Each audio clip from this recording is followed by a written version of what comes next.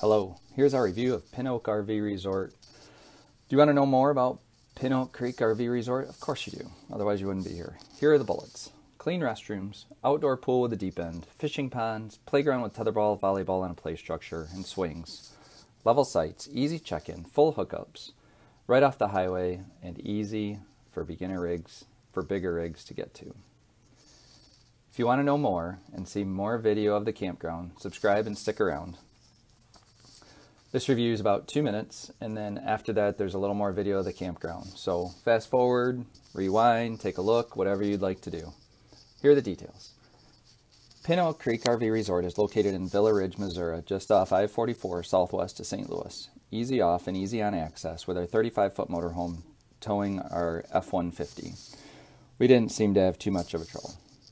We reserved a pull-through site, and after the simple check-in process, we were guided to our site without having to un hook and had an easy departure the next morning.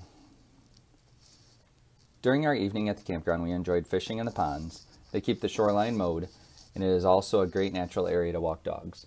The campground is very dog friendly. However, due to the close nature of the campsite, short leashes are recommended. The pool is spacious and concrete with a 9 foot deep end. We were disappointed that they only had high top tables with bar stools and picnic tables. After our 500 mile day, we were looking for lounges. There are table umbrellas and trees surrounding the pool area to provide some shade. The pool is close to the bathrooms. Mini golf by the front entrance looks in disrepair but may still be playable. Other recreation for use are pedal cars and activity room with air hockey and pool, among other items. Pin Oak has back end sites, pull through sites, and cottages for rent. The sites are outfitted with metal campfire rings. However, the sites are close, and we are thankful no one near us had a fire the night we stayed. Picnic tables are also included with each site. We noticed that the roads and sites have stone footing. I think some of them might also have had concrete and some additional amenities. Garbage cans are situated throughout the campground, so you don't have to worry about walking a long way to dispose your garbage. The campground also offers propane refills.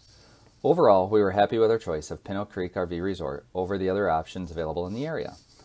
The people were friendly, and the staff provided a clean environment from the pool to the bathrooms to the landscaping. Landscaping throughout the park is well maintained and adds to the character. If you are looking for a friendly atmosphere in the woods with a rural feel, Pin Oak Creek RV Resort will provide you with a great experience. The written review ends here. Feel free to watch more video and thank you for your time.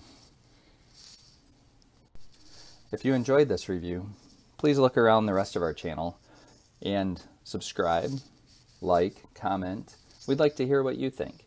And also visit campbrood.com we also have Twitter and Instagram at Camp. Thanks and have a great day. Bye.